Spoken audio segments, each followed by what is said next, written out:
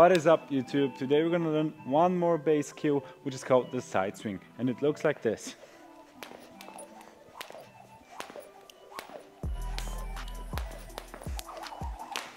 Why is this a base skill? Well, I describe it as a base skill to myself since most of the high skills require either cross or side swing. Even if you want to learn the mic release, you're gonna be able to do a side swing. Before starting, I'm gonna recommend to watch one of my videos which is called How to Jump Rope. If you're not sure if you're skipping properly, this video will help you with a lot of stuff like hand positioning, where to, where to hold the handles, and as well how to proper bounce. I'm gonna divide it into three parts and they are swing position, swing setup and open. So let's get started. Swing position. We don't need to jump at first. We hold our hands in front of us and swing from here. Swing setup. We swing the rope. Whenever the rope is in front of us, we set up our hands like this. If you are right-handed, right, right hand straight in front of us, just like this, and the left hand should be down and forming a, a 90 degrees with the elbow, just like this.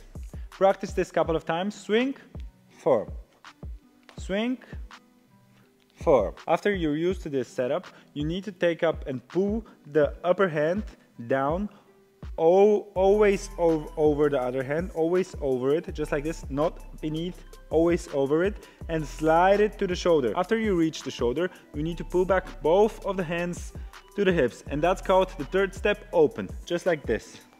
Swing, set up, slide, open. Whenever we go into the slide, we always go into a wavy direction just like this. Wave and go back down. You do not go straight just like this. You go from the upper part as a wave down and go up again and down. Just like this. Up, down, up, down. Always gather the feet just like this and try to, try to lift your toes and target the feet.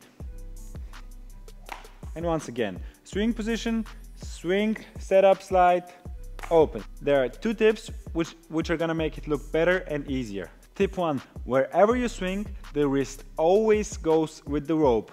If the rope goes down, the wrist goes down. If the rope goes up, the wrist goes up as well. So you always follow the rope. Even with the side swing, we always follow the rope. Look at my, look at my wrist now.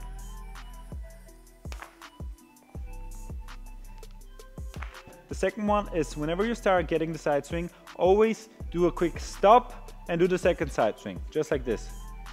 Side swing, stop, side swing, stop, side swing, stop. Whenever you get used to this, just add the middle skip in between. And remember, whenever the rope hits the floor, you need to jump. That's right. One, two, one, two, one, two, one, two, one, two. Don't forget to get the best rope at swissskip.ch.